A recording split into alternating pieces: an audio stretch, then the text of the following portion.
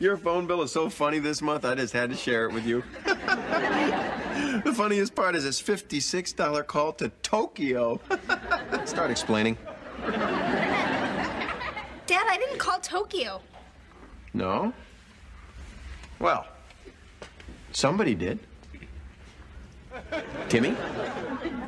I did not make that call. I've never been so insulted in all my life.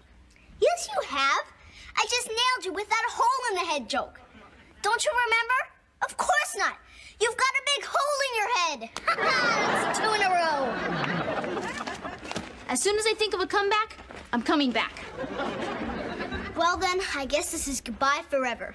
That's three in a row. I kill myself.